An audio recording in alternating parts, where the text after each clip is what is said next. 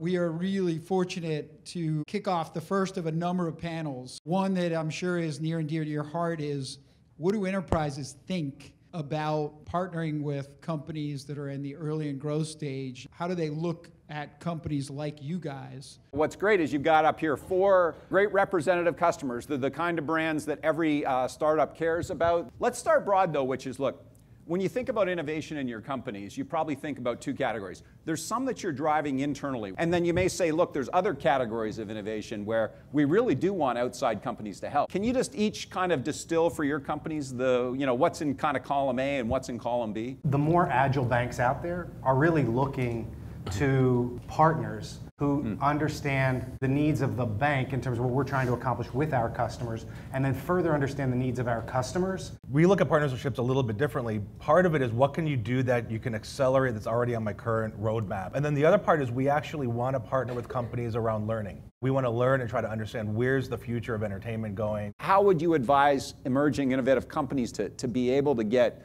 deal cycles that are 120 days, not 320 days? So one is increasing privacy and cybersecurity. People are always coming along saying, we got this product, it's an app, let us plug it in, and it's plug and play, it'll be easy.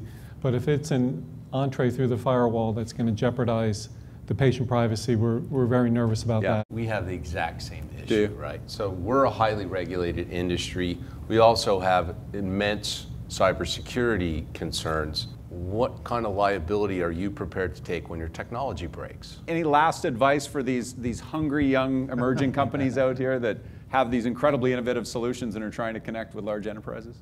Understand the problems that your client mm-hmm. has. Get in the door, make it really easy to buy. Yeah. I just think you have to be more honest with questions like how do I improve your bottom line? If you make a lot of money, improve my bottom line, I'm all for it.